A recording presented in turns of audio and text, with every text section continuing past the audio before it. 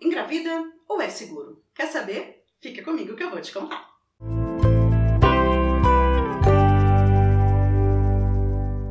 Olá, eu sou a Mônica Romeiro, tô muito feliz de ter você aqui comigo. Então já dá um curtir aqui pra mim, antes de começar o vídeo pra você não esquecer, me ajuda demais. E bora pro assunto? Bora lá?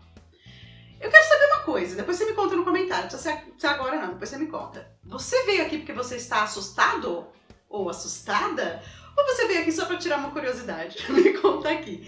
Mas vamos lá. Eu sei, tem muitos canais aqui no YouTube, alguns falam, não, não engravida. Outros, sim, engravida. E agora? O líquido pré-ejaculatório, aquele líquido que dá uma lubrificada, uma limpada ali na uretra do homem. Será que ele pode engravidar ou não? Tá tranquilo, tá favorável.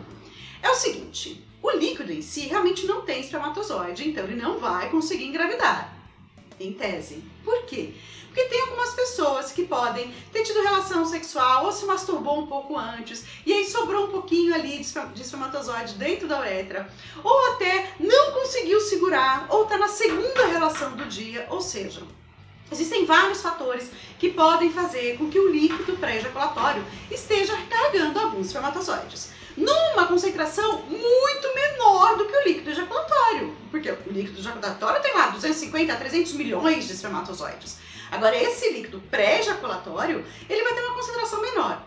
Mas quantos que precisa para engravidar? Um. Então, se você for mega sortudo, tunado e tiver um espermatozoide lá que pode causar essa fecundação, pronto, engravidou.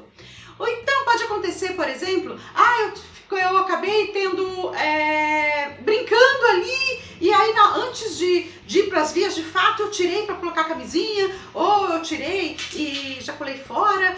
Eu tô seguro? Não, você não tá seguro, tá? Pode ter acontecido sim, de escapar alguns espermatozoides e você ter é, a chance de virar papai ou mamãe. Simples assim.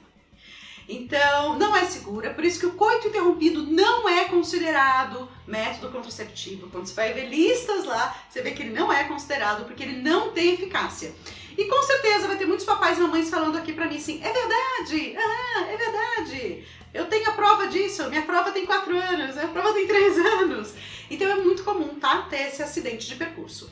E não esquece, se você tá aqui porque você tá querendo fugir da camisinha, cara, você tá errado. Porque gravidez realmente é o menor dos seus problemas, tá? Na relação sexual, você pode ter AIDS, hepatite, HPV, que pode na mulher causar até câncer de útero. Então são várias outras doenças sérias. Sífilis está tendo uma mega onda aqui no Brasil, porque o pessoal não está se cuidando. Então a camisinha tem masculina, tem feminina, tem várias formas de você se proteger, inclusive para o sexo oral, que são muito mais importantes do que você se preocupar com uma gestação. Gestação, nossa, eu sei, é complicado, difícil ter filho, é caro ter filho, é difícil educar, é uma dedicação enorme, mas é uma vida. E a gente pode estar falando aqui até mesmo da tua morte. Foi pesado, né? Mas é verdade, recado tem que ser dado. Então, líquido pré-ejaculatório pode sim engravidar. Espero que você tenha gostado desse vídeo. Se gostou, não esquece de deixar um curtir pra mim. Eu te vejo no próximo vídeo. Ansiosa pelos comentários.